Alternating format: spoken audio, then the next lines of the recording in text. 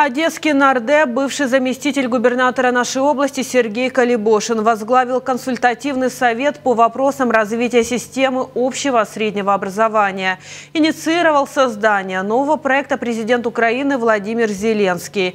По замыслу авторов, консультативный совет – это орган, который будет улучшать качество образования. Главная задача – сделать среднее образование доступным. Наша система среднего образования у нас сейчас ну, не, сам, не в самой лучшей форме. Э, при этом направлений, э, скажем так, исправления достаточно много, начиная от педагогического образования, того, кто идет в школу работать, и заканчивая даже вопросами, например, связанными с питанием детей, со здоровьем детей.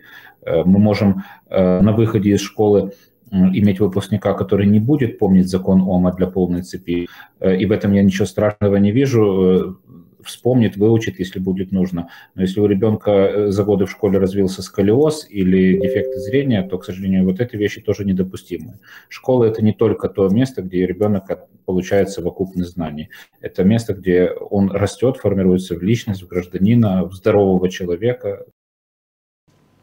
Работа нового совета будет прозрачной, заявил Сергей Калибошин. В организации представлены педагоги, руководство школ, представители дошкольного образования и, разумеется, чиновники с парламентариями. Мы собрали в состав э, совета, э, я считаю, что ну, э, максимально экспертная и полезная с точки зрения КПД э, состав.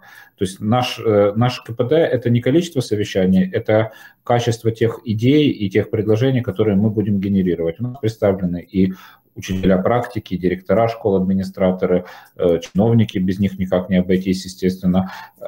Есть общественные организации,